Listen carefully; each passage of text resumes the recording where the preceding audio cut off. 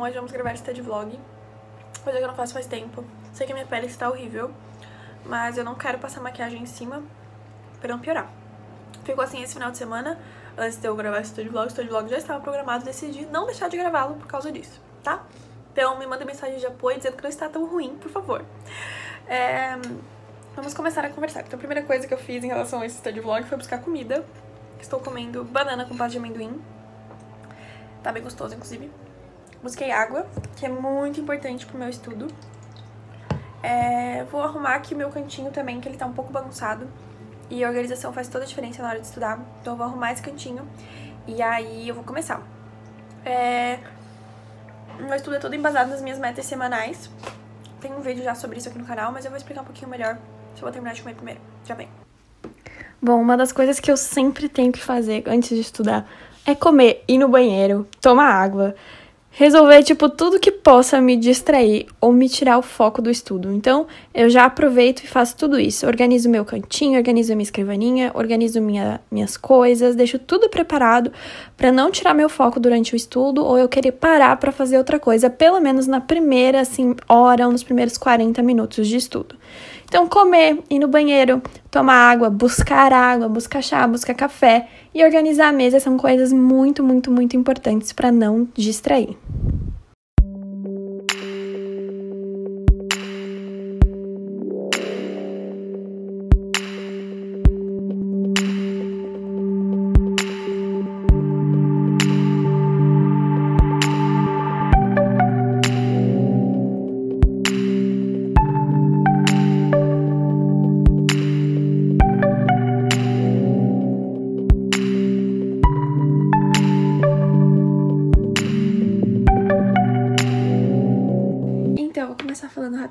Sobre as metas semanais, né?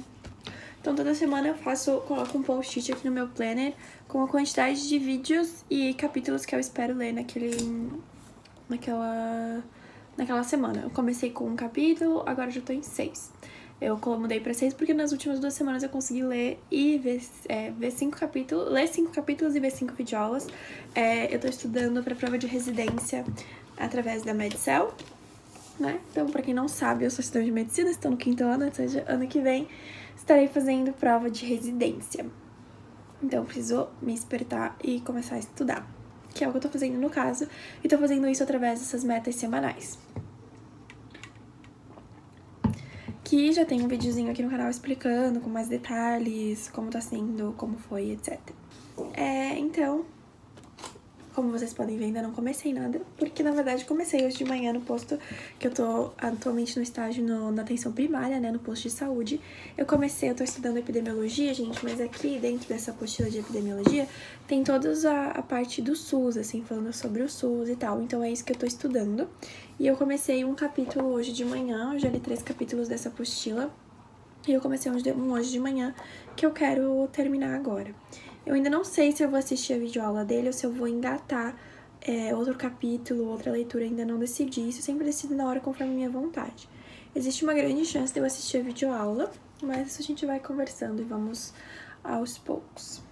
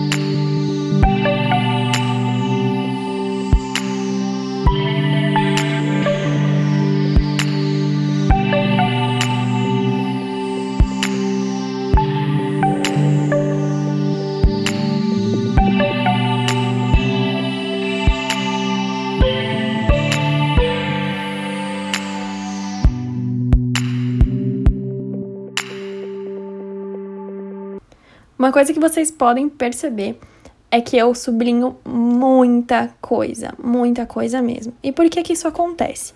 Quando eu tô estudando matérias que eu tenho domínio ou que eu gosto, eu não sublinho tanto. Mas quando eu estudo matérias que podem me distrair, que tem muitos detalhes ou que eu não domino, eu tenho o costume de sublinhar bastante para não perder a atenção e para fazer um brainstorm. Então, o que é um brainstorm? É você ter um apanhado geral de tudo.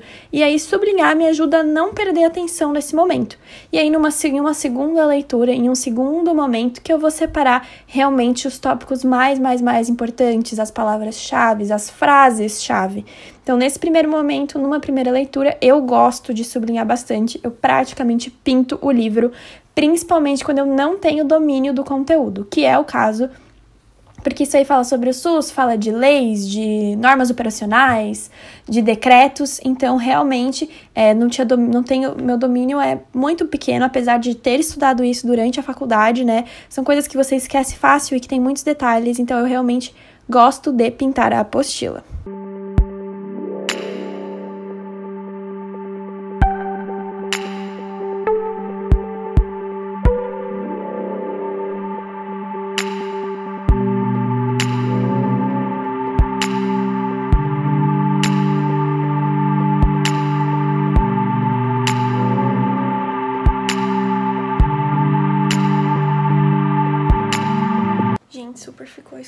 Fora agora. Então, e tá, ó, tá vendo? E tá ficando muito frio. Vou vir pegar alguma coisa pra... Ai, já sei o que eu vou pegar. Minha mãe me deu, tipo, um roupãozinho muito gostoso. E eu tô com frio. Vou pôr. Ó, que delícia. Hum, gostoso. E é isso, né, gente? Ficar... Tem que estudar confortável.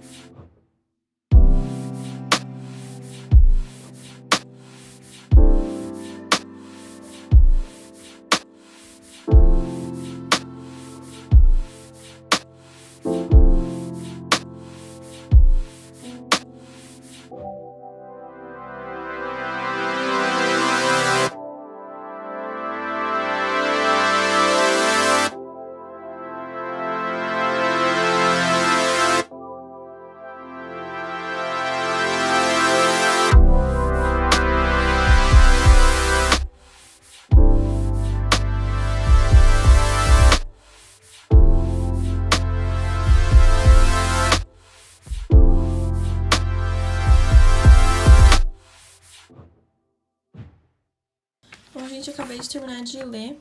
Todo final de capítulo da Medicel tem um resumo que eu não tô lendo. Eu tô deixando ele pra usar pra fazer revisões é, mais pra frente, mais perto da, da época da prova de residência. E o que eu faço pra marcar os capítulos que eu li é algo que eu faço desde a época do cursinho. Eu venho aqui nessa no índice e eu sublinho, né, o que eu já li. Ó, tá vendo? O resumo tá sempre em branco. Nesse livro eu já li esses dois capítulos e li esse capítulo aqui. Nesse livro tem só sete capítulos. Então, agora eu acabei de ler esse aqui.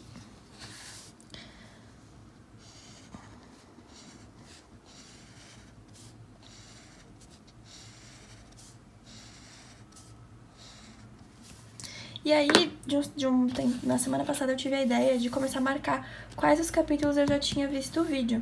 E aí, os que eu ver o vídeo, eu vou começar a sublinhar o título do capítulo também. Que eu acho que vai ficar mais fácil de controlar o que eu já li e já assisti também. Bom, é que agora faltam só mais três capítulos para acabar esse, esse livro. E eu já eu tenho seis capítulos para ler para essa semana.